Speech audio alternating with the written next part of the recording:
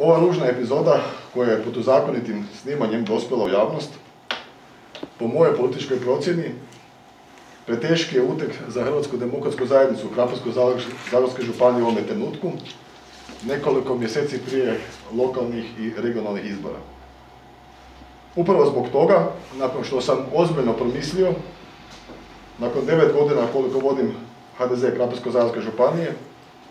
odlučio sam podnijeti neopozivu ostavku na dužnost predsjednika županijskog odbora, jer postoji ozbiljna šansa da na tragu povijesnog političkog rezultata na parlamentarnim izborima prošle godine sa listom Hrvatske demokratske zajednice koju sam po treći put imao čast i priliku voditi, HDZ Krapinsko-zagorske županije ima veliku priliku nakon dugo godina osvojiti mjesto župana u Hrvatskom Zagorju. Kao što je nekim od vas poznato, ja niti nisam trebao biti kandidat za župana. Već sam želio kao čelnik stranke svojim znanjem i dugogodišnjim iskustvom,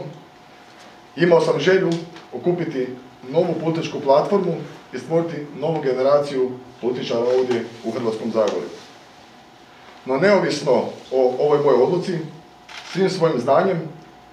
sukladno potrebama novog vodstva Hrvatske demokratske zajednice Krapinsko-zagorske županije,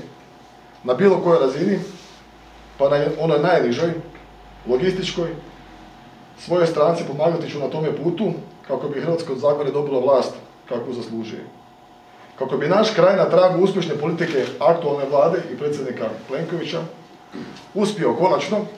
zaustaviti zaostajanje za svim našim susjedima, koje traje, nažalost, već desetljećima.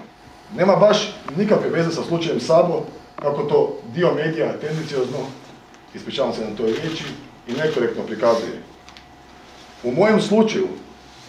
bez ikakve želje za bilo kakvim protuzakonitim aktivnostima, ja sam se nažalost našao, naglašavam nažalost, i to na preporuku svojih stranačkih kolega i uz njihovo znanje, sa čovjekom koji mi je predstavljen kao mogući kandidat za župana ovdje u Krapinsko-zagorskoj županiji. Našli smo se pet mjeseci prije izbora, gotovo pet mjeseci, bez ikakve mogućnosti bilo kakvog utjecaja.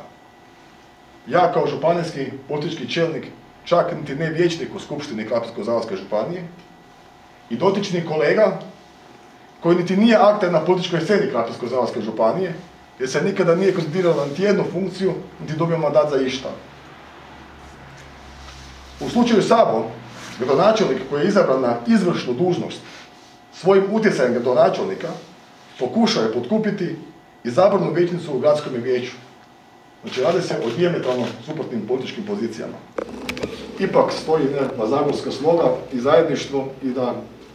interes Zagorja, Hrvatskog Zagorja je ipak iznad bilo kojeg partikularnog interesa, bilo koje političke stranke, tako da eto, svima im na tome zahvaljujem. Zahvaljujem i medijima,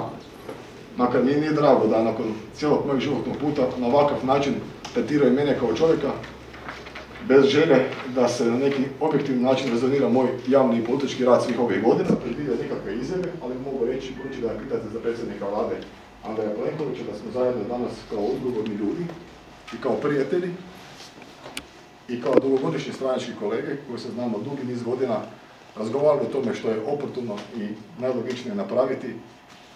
izuzimajući bilo koji partikularni osobni interes, osobnu emociju i privatni naš politički odnos, koji je temeljen na, ja bih rekao, velikom međuljudskom poštovanju svih ovih godina i koji će se razvijeti dalje u vremenu koji je ispred nas. I to je mu hvala. Ja njemu ništa nisam nudio. U jednom razgovoru koji je bio pun karikiranja svih mogućih odnosa na političkoj sceni, sa čovjekom koji me je propekivao u toj političkoj sceni, koji se je pravio da on me ništa ne zna, a ništa ne došao na razgovor sa mnom kako bi izvukao neku situaciju od mene, ja sam s njim razgovarao na način kako razgovaraju svi politički akteri i sve političke stranke u bilo kojim, da ne kažem predizbornim, čak i postizbornim pregovorima. Što to, i, i vi to predstavnici medija vrlo dobro znate. Hvala vam